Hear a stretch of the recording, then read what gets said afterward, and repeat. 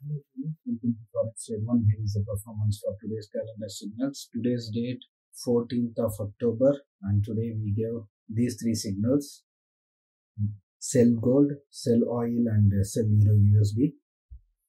Signals posted in this channel is not random. We give the strong reasoning why we are giving any particular pair buy or sell.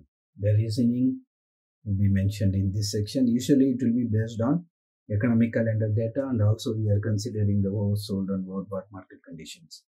As this is a free channel, we did not reveal the levels completely, but for gold we revealed level 1 and for US oil also we revealed level 1 but for Euro USD we did not reveal the level. But we gave the direction that gold price will come down so sell gold given. Likewise sell US oil given and uh, sell Euro USD given and this is the signal posted time morning 6.10 to 6.15 a.m. GMT as per the GMT timeline.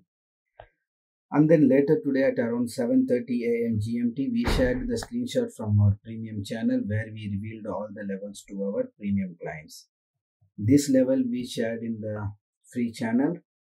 After about more than one hour later, we shared the premium channel screenshot and then uh, here we shared the premium channel screenshot for euro usd as well this is the premium signal we gave it to our premium to our clients for euro usd and this is the signal posted time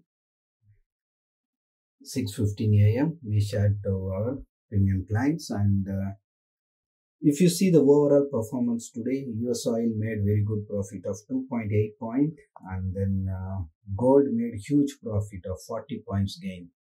Very good profit on gold and these are all the entry levels.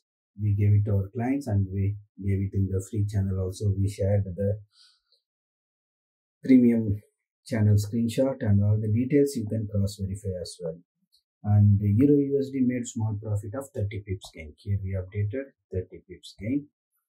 And if you have any question or doubt or if you are interested in subscribing to our premium service you can ask us. Our support team will assist you and clear your doubts. Thanks for watching. See you in the next performance update. Thank you